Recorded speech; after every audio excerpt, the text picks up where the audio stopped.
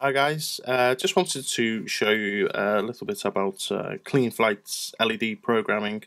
Um, as you can see I've got my LEDs here. These are just the standard LEDs, uh, very cheap to get off eBay. So, uh, just one colour. Um, I've been running red on mine. These are 12 volts. Uh, to get the power to these it was just simply connected to my um, power distribution board on my QAV 250 and uh, it was you know uh, worked well enough. Um, you could see it from very far away. It helped with the orientation. And uh, if you were racing along with other people they could see you easily too. Uh, and it also looks really cool. Uh, it gives a cool effect when you're flying together. Now uh, in CleanFlight you can actually program the LEDs to, to show a certain colour and to do certain things. To do that I'm using these which are the 5 volt LEDs. These are RGB, uh, red, green, blue. And um, I got these from uh, Radio C. Uh, let me just see if we can get this up and running here. Uh, radioc.co.uk, that's where I actually got mine from. Uh, you can see them here. So for a strip of 10, it's only uh, £2.70. Uh, so as you can see, I'm running the CleanFlight here. I've got the CleanFlight system open, and that's what I'm using to program these particular LEDs. Now, if we have a little look on on the uh, LEDs themselves, you see we've got a ground.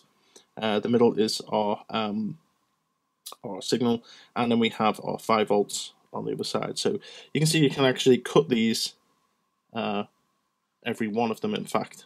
And what's nice about this is you can fully program uh, through CleanFlight um, all of these LEDs uh, to show a particular color to do a particular uh, thing. So if you change your um, uh, arm your board, then you can have it all of all of the LEDs change or a particular LEDs change to a certain color to let you know that your board is now armed and active.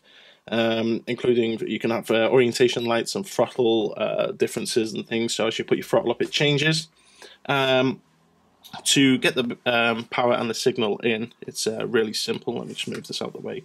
If we have a look on a Naze flight controller, uh, you can see here where we actually plug the uh, ESCs into. We've got all these prongs here, and we've got a negative and a positive. So we've got our uh, ground and 5 volt positive to power the LEDs. So that's how I'm going to power mine up.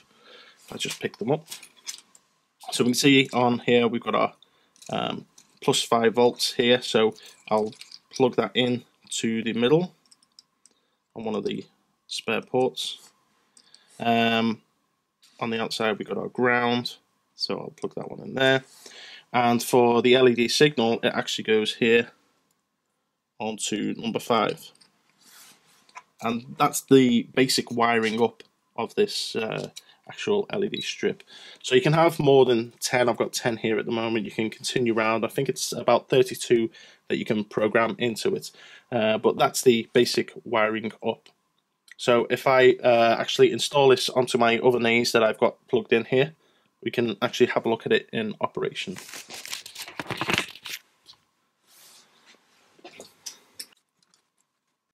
So just like I showed you uh, on that other naze, this is uh, wired up in the exact same way, except now when I power up the quad, we should get the LEDs to light up.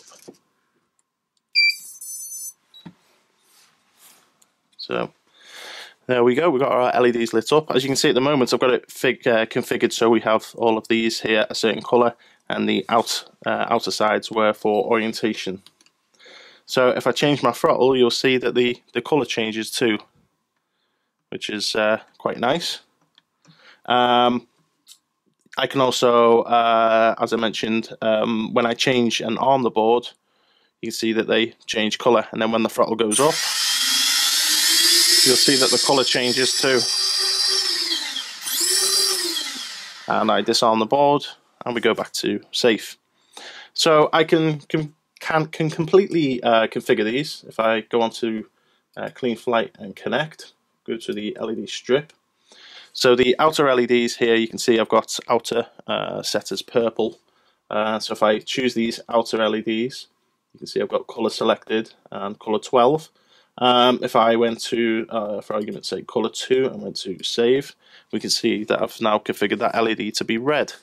If I wanted the other one on the outer to be red, I could uh, change that to uh, oh, what colour did I choose? There we go. So uh, the numbers here are kind of like a colour palette. You can choose a different number and uh, have that um, colour displayed. Uh, so if I wanted to change some of the uh, centre ones, I could pick a colour and, and, and, change them too. Um, so as you can see, I've got throttle and my arming state set on these at the moment. Uh, so the throttle is this, so as I put my throttle up and down, we can see it changing. And the arming state is um, basically when the board's armed. So that's uh, very simple.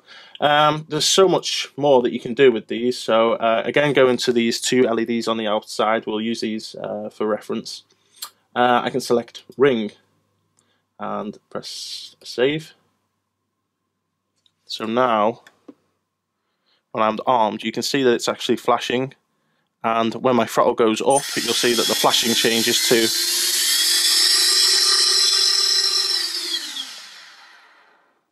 and disarm again.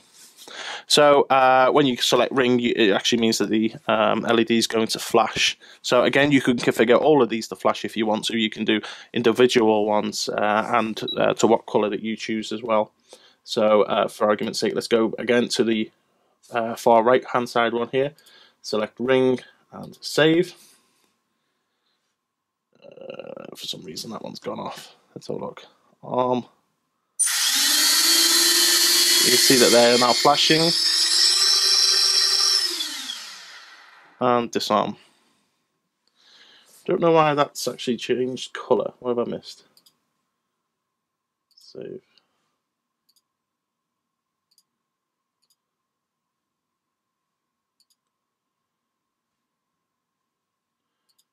Two, two.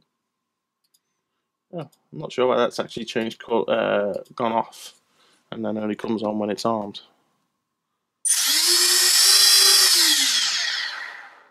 Um, so as you can see, you can make mistakes like me. uh, I'm just going to disable the ring on there because I, I, don't really want them flashing.